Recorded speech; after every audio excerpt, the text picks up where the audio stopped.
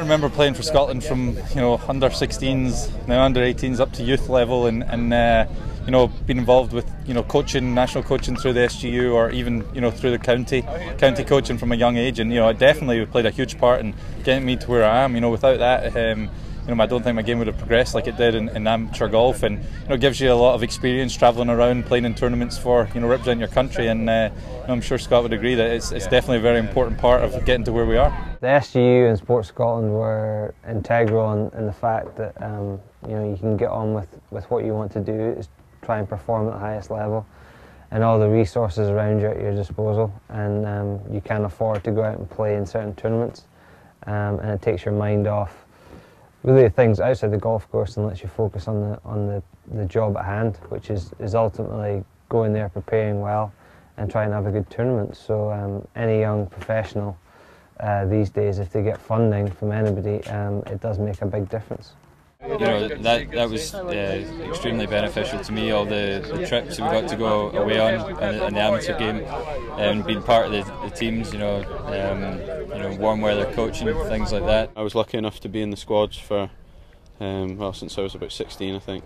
Um, so had I not been supported by the SGU, there's no doubt I would have went to America. But the uh, the system that we had in place, um, you know, we went away to Dubai for a lot of the winter. We went away to South Africa and you know, we had a great system there, so you know there was no need to, to go away to America for the weather or you know for the golf because we were uh, we were so well supported in Scotland. SGU, I suppose, in, in part of um, the Institute of Sport helped me with everything. So the Institute of Sport helped me with my physical training, my physio, um, nutrition, um, psychology, if I need any of that. Um, the SGU, are, they take care of all the golf. Um, Ian Rae's coached me now for seven years, and, and before that was Spencer Henderson when I was was a junior. Um, I know they look after every aspect um, of, I suppose, that you need to do well. Support we we receive through nutrition and strength and conditioning, things like that, through the Institute of Sport. Um, you know, it's fantastic, and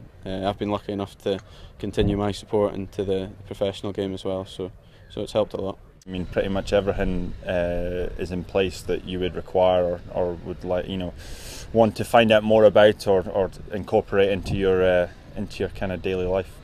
If you do turn pro, you're pretty much going to need everything that um, we've been fortunate enough to receive: um, coaching, strength and conditioning program, physios, um, work with psychologists if you like. Um, and we've I've been on three winter training camps now over the last three years. So South Africa and Australia I've been to uh, competing as well. So you experience different kinds of golf and um, I think that stands you in very good stead when you come back here to compete over the summer.